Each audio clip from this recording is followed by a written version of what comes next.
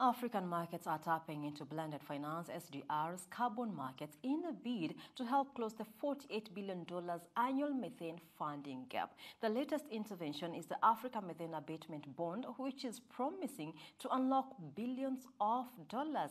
CNBC Africa is now joined live by Ibrahima Aidara for more, who is also a senior advisor at AfriCatalyst. Ibrahima, thank you so much for your time all the way from Dakar, Senegal. So this is quite a very timely conversation that we are seeing here. And in terms of the numbers, we are seeing that methane is responsible for 30% of global warming, but it is receiving just 2% of climate finance. So, Ibrahima, let's talk about why methane is such critical. It's, it's such a critical element here, but it is yet an overlooked issue for Africa. Thank you very much, um, Madam, for this uh, critical question. I think um, uh, there is a large consensus that methane is a, a potent uh, greenhouse, over 80 times more impactful than uh, CO2 over a 20 years period. Yet it has been largely neglected in climate financing uh, space, especially in Africa.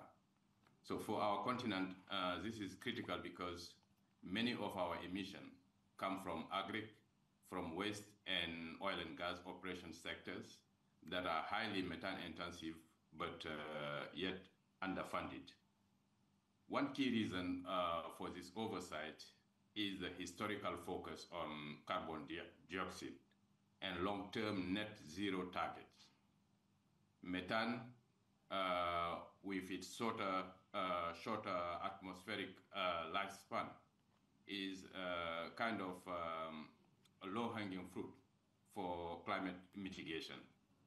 Uh, but this hasn't translated into uh, proportional funding.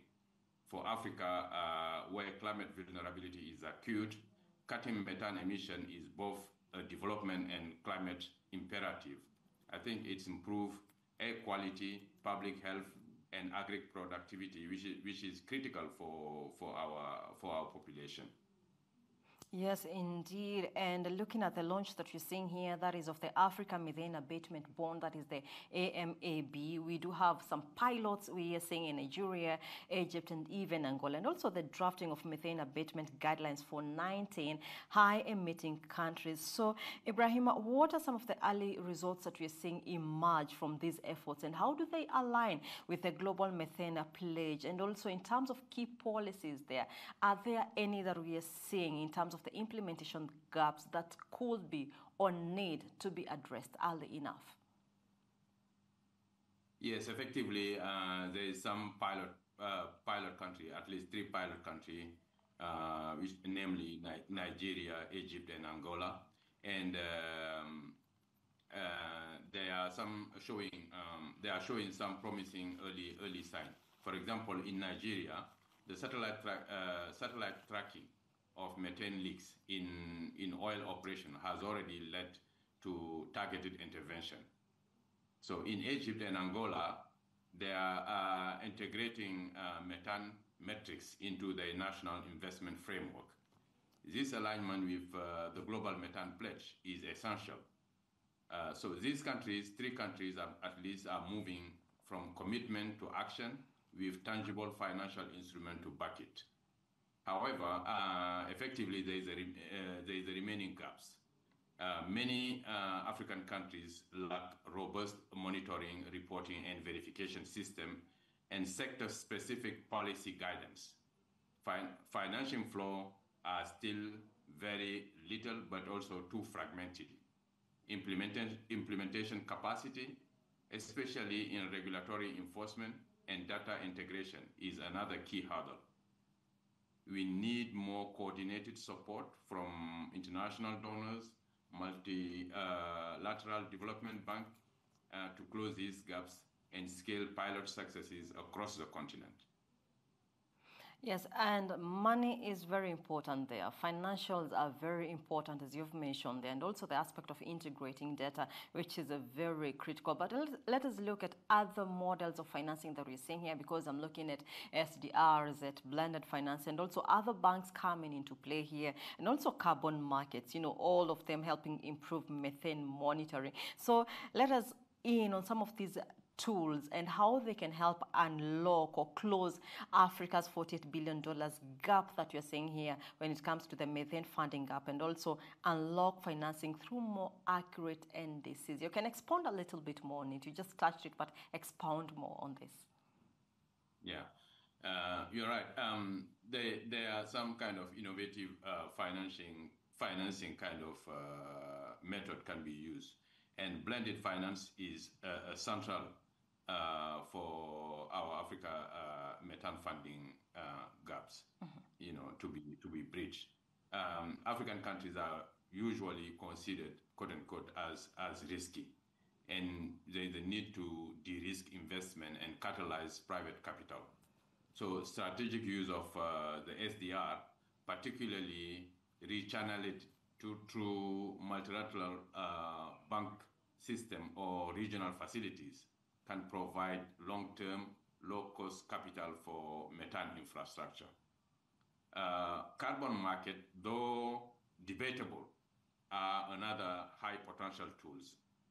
So methane reduction are often cheaper and faster, as I mentioned, to achieve, uh, making them ideal for carbon credit generation. But to attract investment, um, African countries uh, must improve methane tracking and uh, this is where innovation like satellite monitoring, uh, like in Nigeria, come in.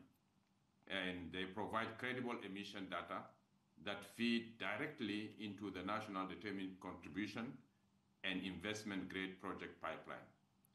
This level of transparency is critical not only for unlocking funds, but also for making Africa's uh, climate contribution more visible and bankable on the global stage.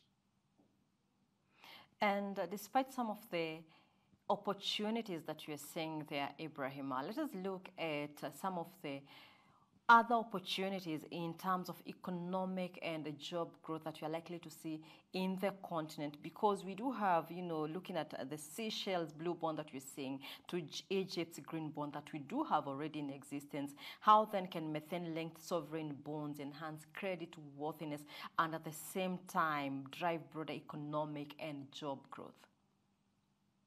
Yeah, um, methane linked sovereign bond like uh, the Africa methane abatement mm-hmm. Bond can play a, a, transformative role. They channel capital into measurable mitigation action, which improve environmental and fiscal indicators. This in turn enhance sovereign credit worthiness. Investors value transparency and impact, and bonds tied to methane abatement deliver both. Uh, taking Nigeria uh, case of uh, LNG sector, cutting methane uh, leakages in, in improve gas recovery, boost export, and strengthen energy security. So this lead to job creation, increased revenue, and and a, a cleaner development pathway. In agri, for example, and waste management, Similar outcomes are being seen. Livelihood are being improved through composting, biogas, and better land management. So it's not just about emission. It's about economic transformation uh, driven but uh, by, by climate smart investment. Yes, Ibrahima. And uh, amongst all of these opportunities that we do have here, I am looking at some of the risks and failures. If this does then uh, not work out, what alternatives do we have? So, and also let us look at it from a successful, you know, succession point of view. If this is successful, that is A and B, like is it likely to become a blueprint for other regions tackling methane? And also how is Africa likely to lead the global charge on this issue? Yes, definitely. Um, for example, if you, if you consider what we uh, recommended um, under the AMAB uh, framework at Africa Catalyst, I mean, um, approach this in two in two ways. Uh, the pilot phase, which I kind of uh, described here, and the second phase, long term, which is uh, scaling up and definitely um, uh, AMAB has the, the potential to be a, to be a, a, replicable and scalable model, and uh, it blends climate ambition with financial innovation, anchoring uh, methane reduction in national development strategy while creating attractive investment vehicle. So Africa is demonstrating that low and middle income countries can lead on methane in the right instrument, data and incentive are in place. Our leadership is not just moral, it, it is practical. We are, we are showing in, in on the continent uh, the world that is that it's possible to design a financial tool that serve both climate and development goal without waiting um, uh-huh. so long. You know, so by turning methane uh, from a problem into uh, an opportunity, uh-huh.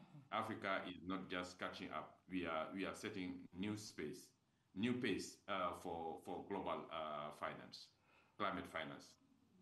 Yes, and this is a very huge opportunity that I am seeing here for methane and also for Africa as a whole. So, who are some of the partners that you're working with? Who is on the table? So, we are engaging with uh, a variety of, of partners, being in the financial uh, sector and uh, technical technical sector. Uh, we are engaging with uh, AFDB, uh, Afreximbank, and uh, other technical partners like uh, GGGI, uh, our colleagues ACEP in Ghana, um, NRGI, and we are also engaging with, with, with countries and the private sector, like in Nigeria, with the Minister of Finance, uh, the, the, the Council on Climate Changing, and uh, the Federation of uh, SMEs and SMI uh, in, in Nigeria. So we have a variety of partners that we are engaging and discussing to see how um, we can uh, reinforce uh, these uh, pilot cases and eventually scale it up. Mm-hmm. And when we say scale up there, what are your expectations in terms of maybe return on investment, profits here? What are the financials looking like for you? Um, so we are thinking about like uh, if you can um, have more more additional countries um, and uh, within um, within the uh, green financing um, bond issuance uh, target uh, some specific methane project for about like uh, 50 50 billion mm-hmm. for allocated for methane uh, abatement. We think that will be really um, interesting for the continent, and by 2030 we can we can we can achieve uh, our Paris uh, agreement.